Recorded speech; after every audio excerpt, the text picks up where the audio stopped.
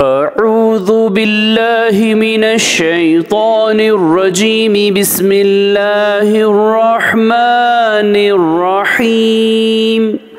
الذين يقيمون الصلاة ومما رزقناهم ينفقون أولئك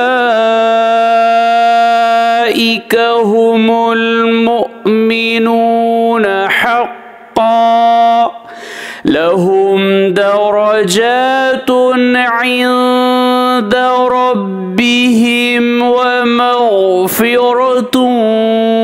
ورزق كريم.